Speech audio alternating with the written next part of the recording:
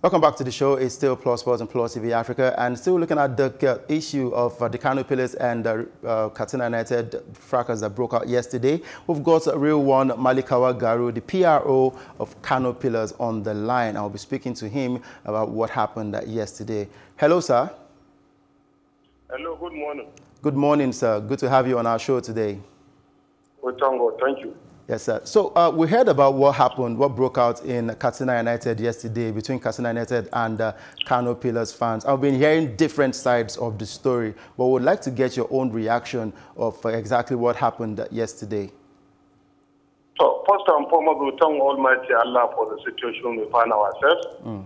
As I'm talking to you, nobody lost his life in Katsina. But some people get a serious injuries that are receiving medical treatment currently at Katsina General Hospital. Mm. And this morning, the chairman of Kano Pillars is going to transfer them to Kano Nasara Hospital for further treatment. Most of them, they got some injuries because of the maltreatment they found themselves by some of the Katsina United fans. But thank God nobody lost his life. Mm. And uh, as I'm talking to you, and as I'm telling you, all the players, all the technical crew, they are back to Kano, and we're going to continue our training tomorrow. And uh, what happened yesterday, of course, we didn't expect it. We go to Katsina with just an intention to play football. Football is an issue of unity, relationship, and understanding. In other way, it's a socio-economic development process. So, but what happened? We are waiting from the match official report they are the right people to tell the LMC, the NFA what happened, so they're in the position to explain more. Now, there are different sides of this story. The Kano Pillars fans are saying that it was started by Katsina United, while Katsina United are saying that it was started well, by uh, Kano Pillars. Actually, the, begin, actually, the beginning of the, program, of the problem started during the second half. When we are going for the first half, when the 45 minute ended, the center referee called for the ended of the first half the fans of Katsina United did not allow our players and technical crew and even the match officials to enter the dressing room for that 15 minutes because they started throwing them stone, pure water sachets, and some other objects.